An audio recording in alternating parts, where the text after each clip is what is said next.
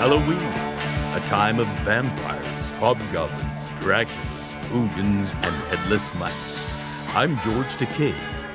You know what? Let's just get to it. How was it?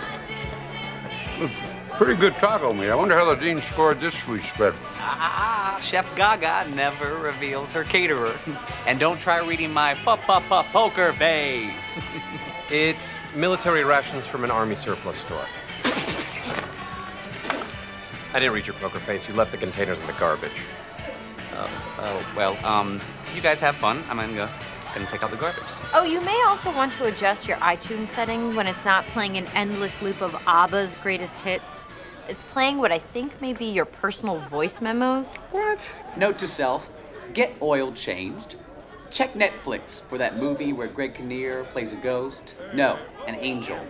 And something called Human Centipede. David Beckham. Hmm. Dragon Turtle? T Rex. Man, I wonder how much effort you put into being accidentally handsome for a costume every year.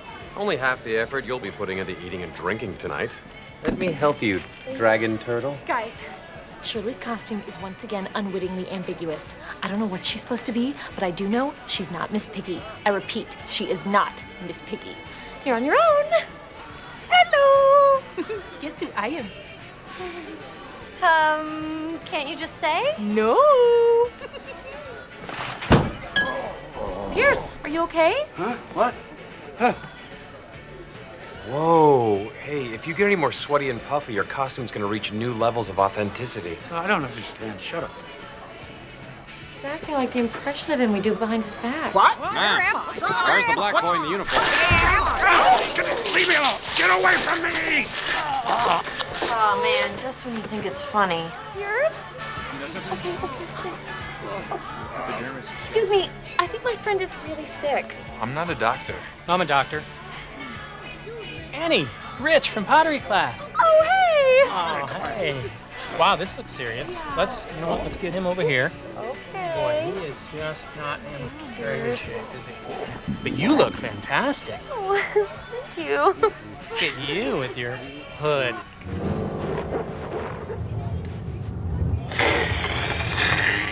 Right between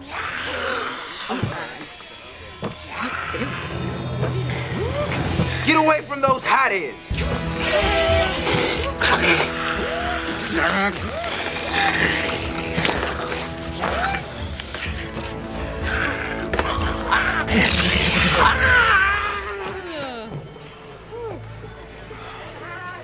You're safe now.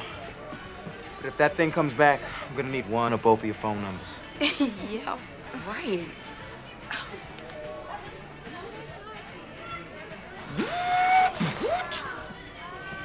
I don't get it. How do you do it? Well, I'm wearing a $6,000 suit, and you spent three days making cardboard robot armor. You're saying they feel sorry for you.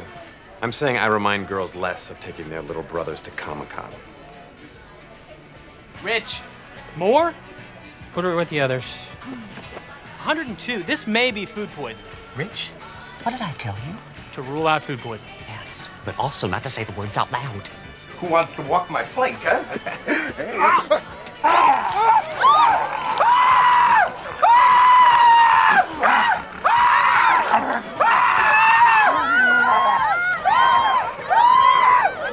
Okay, I'm ruling out food poisoning.